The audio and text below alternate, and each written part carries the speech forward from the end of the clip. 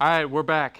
A few states away, a few months later, and uh, brand new location, and definitely a little bit warmer.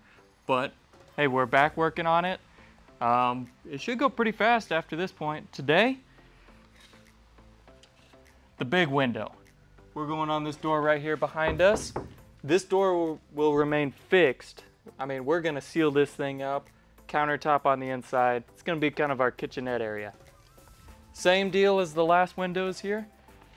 This one is very, very similar. Um, just a little bit more unwieldy.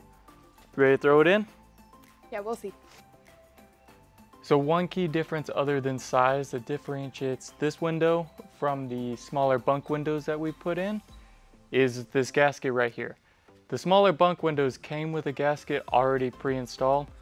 We got to throw ours on and then we're going to use this piece of cardboard as a template uh, for our size. Essentially what we're gonna do is trace it out, bring it on the inside, and make our mark.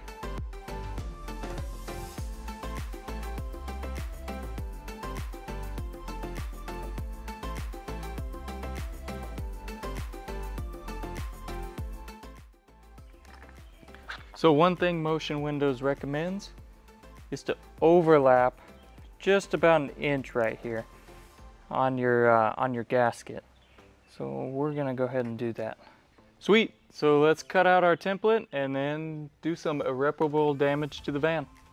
Essentially all I'm doing right now is just cutting out or tracing this so I can cut out a template to be able to stick onto the van and we can get an accurate um, size representation of our window. So we can cut it out and hopefully not make too big or too small of a hole.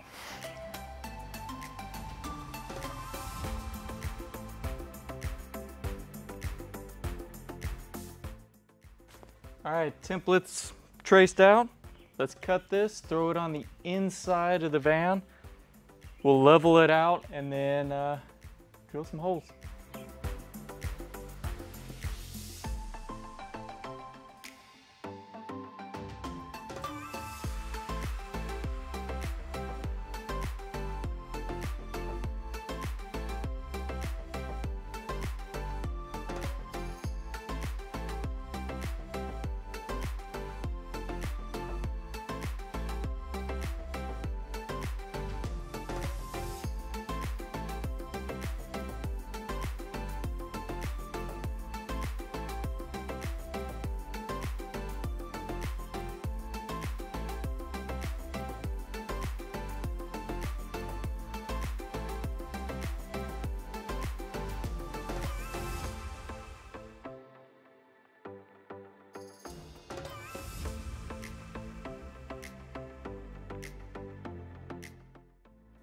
We accidentally lucked out here because there was no way we could even fit a level into this little gap.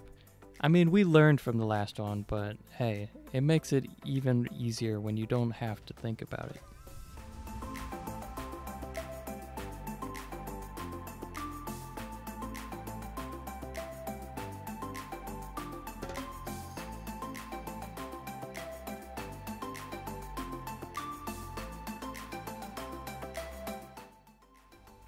So we got our template made and now the next step is to come in here. You wanna make sure that your drill bit is on the inside of the line. This makes it where we can uh, put our cardboard template on the outside later. So we just wanna get an idea of exactly where our cutout is.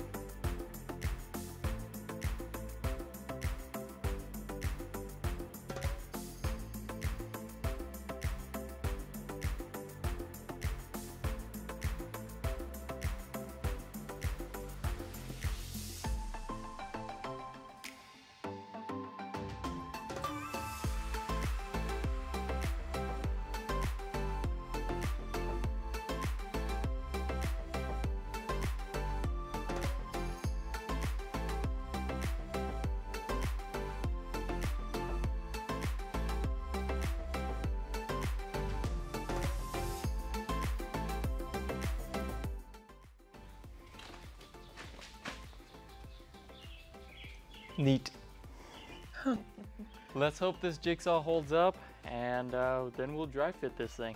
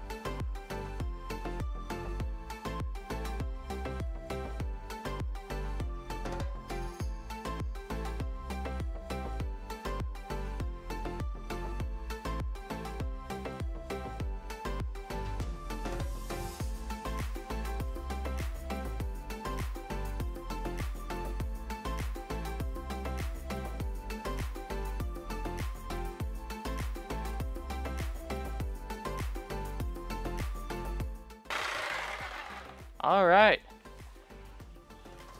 Whew. Just a little bit stressful. No kidding. Good old moment of truth.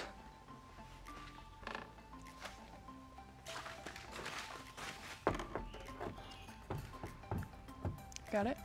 Oh man. Yeah, I think we'll be okay. Good deal.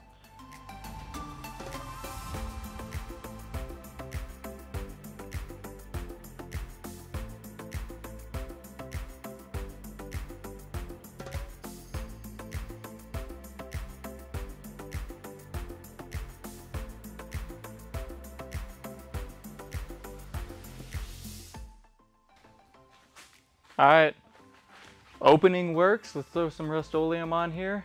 Let it dry for, I don't know, like two to three minutes in this heat.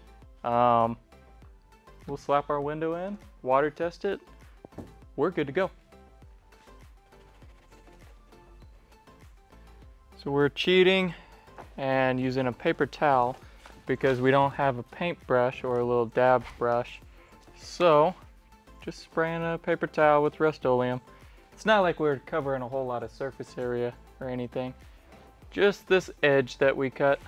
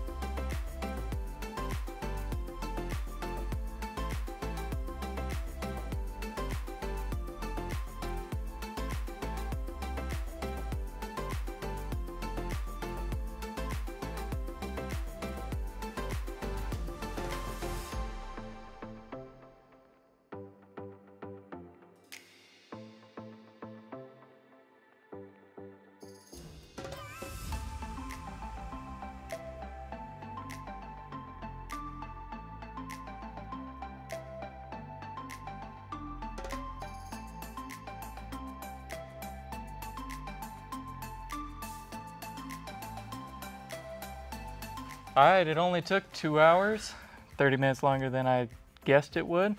But hey, we got our T-slider window in and uh, all that's left to do is water test it, which you've got a call, so I'll go out and give it a quick water test. But hey, it's more level than the other windows and uh, Actually worked out pretty well. yeah, I think it'll work. For sure. I'm excited. We can sell tacos now.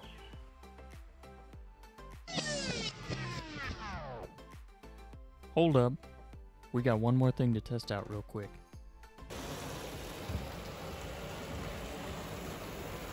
And it's looking like we're not leaking everywhere. I'm not seeing any leaks here at all, which uh, I can live with. Now you guys can go. That's all we have for you with the windows. In the next one, we'll be throwing on the roof rack, which took us way, way longer than it needed to. But hey, it looks pretty good, so we'll see you there.